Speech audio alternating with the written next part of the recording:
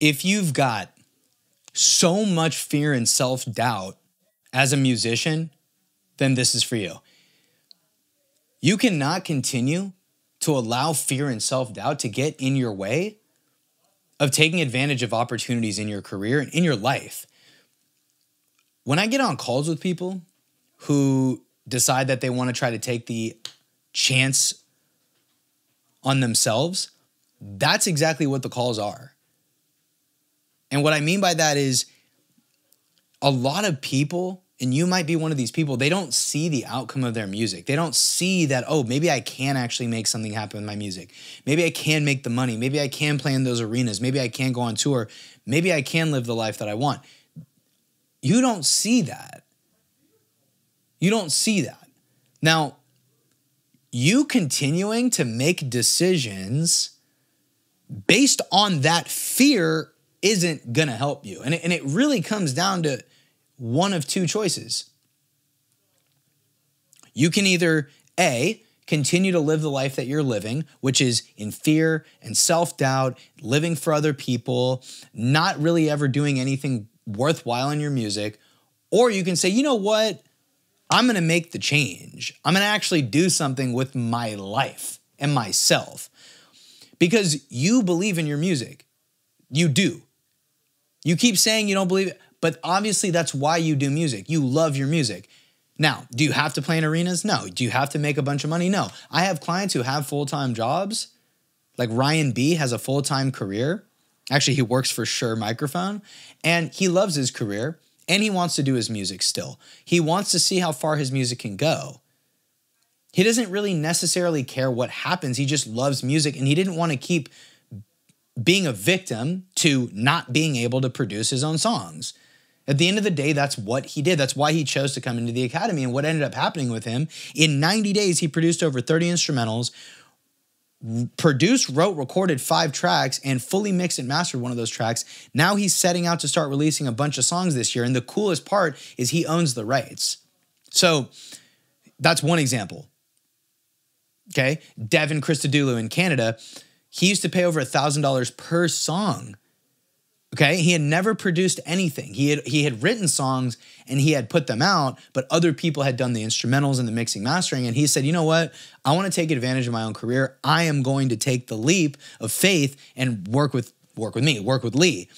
And in the academy, he's fully written and produced, mixed and mastered five songs he he's doing amazing. And he didn't even take full advantage of everything in the academy. He, he only really looked at one part of it which is our video course. But the point is like the people who get results in life these two nip and kobe you think nip you think nipsey just decided you know what? I don't believe in myself man. Fuck this music thing. No. He was like dude i'm gonna take a chance on myself. I'm gonna bet on myself same with Kobe. Kobe tells the story all the time, actually. Kobe tells the story all the time when he was 13 years, years old. He, he, his words, I sucked. He wasn't good, but he kept working. He kept believing himself. He kept trying. You don't achieve great things in life. You don't live the life that you want by just being like, uh, I don't believe in myself. no, you fucking don't. You, you, you, you, you say to yourself, you know what? Fuck it. I'm going to take that leap. Like I've got the money. I've got it's now or never. It's not oh another day. Oh, I need my 24 hours or oh, let me wait six. No, no, no, fucking no, no, no. It's none of that shit. Like you want something taken care of, like you get an opportunity, you fucking take advantage of it. You don't fucking get on and, and the opportunity doesn't just come to you and you go, you ever hear like you ever hear of like opportunity comes knocking, you better save it a seat at the table? Opportunity's not gonna come knock and be like, "Yo, you ready?" And then you're like, "Oh wait, I I, I need 24 hours." Oh God, I wish I could just wait six months. Opportunity's gonna be like, "Cool, peace. I'm gonna go to the next person." And opportunity is gonna knock on the next door, and that person's gonna be like, "Huh, been waiting for you to show up. Come on in."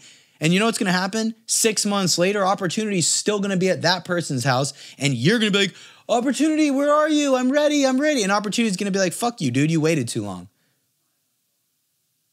That's real life. That's really how the fuck life works. So, in your little fucked up head, you might sit here and think to your fucking self, oh, you know what, bro? I'm gonna just, I'm gonna set up my own little ideal situation and I'm gonna just wait six months. You think that you you you have the audacity to think you have that kind of power? You fucking don't. Instead of being a fucking slave to your self doubt and your little fucking pity party, how about you do this? Be a friend to winning. Go befriend winning, go befriend victory, go befriend opportunity by taking advantage of that shit right when it fucking gets presented to you and stop being a little fucking bitch. Stop being a bitch. Take action. Over take too much action.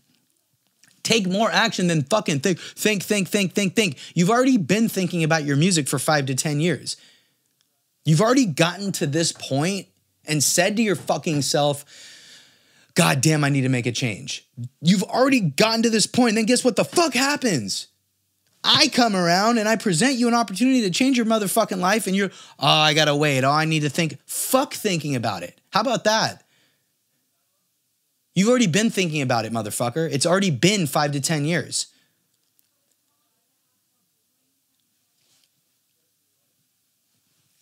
In the coaching world, we have these things called VSLs, video sales letters. This, this Fuck that. This ain't even one of them.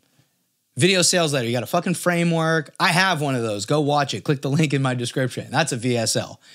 You got a framework, you know, whatever. You got a whole thing. You show client results.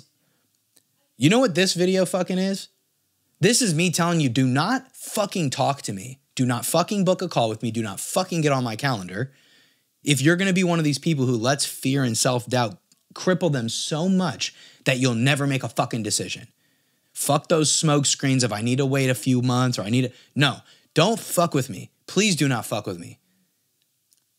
Don't. Because I'm. This is me right here. These are. This is me. Take action, killer. And I don't mean kill you. I want to kill your self doubt. I want to kill your self doubt with you.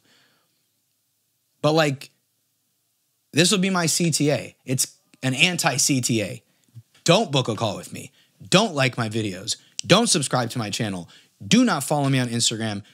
Leave me on read. Don't talk to me. If you're one of these people who's throwing themselves a fucking pity party, don't talk to me if you're one of these people who can't even get out of their own fucking way. You click the link in the description, you're gonna find out how to produce your own music in 90 days. And in that video, there's a link to book a call. Do it if you're ready to fucking rock and roll. Don't do it if you're not.